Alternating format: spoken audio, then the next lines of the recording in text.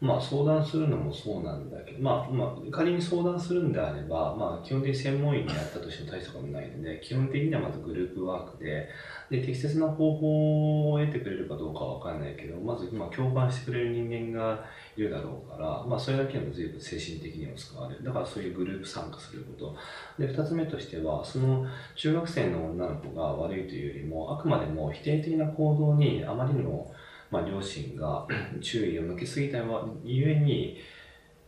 問題行動がかえって増えてる可能性があると。例えば泣いてる時に抱きしめると、まあ、その泣くことを強化してしまう。でも仮に泣いてる時に無視をして、まあ、おとなしくしている時に仮に母親が抱きしめたならば、まあ、非常におとなしくなっていくと、まあ、そんな感じでやっぱり表面こう一辺的な行動に目を向けると、まあ、基本的に発達障害の子供っていうのは、まあ、極めておとなしくなっていく。もしくはそういう問題行動を起こさなくなっていく。じゃあそういったものに対してどういうものがあるかといった主なものととしては、まあ、行動応用分析。で次、まあ、ペアレントトレーニング。でそういうところに行って、まあ、実施